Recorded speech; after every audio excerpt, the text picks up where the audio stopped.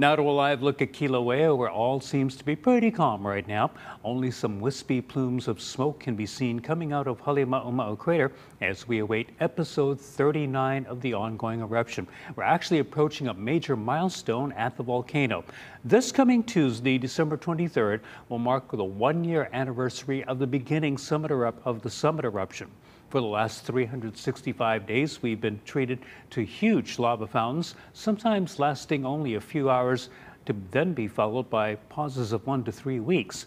The USGS says this type of eruption is the first of its kind in nearly 40 years.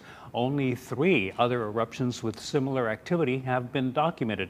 The 1959 Kilauea Iki eruption the initial founding phase of a 1969 to 1974 Mauna Ulu eruption and the early episodes of Pu'u'o'o from 1983 to 1986. The highest fountain from this eruption reached 1,500 feet, and that was during episode 35 in October.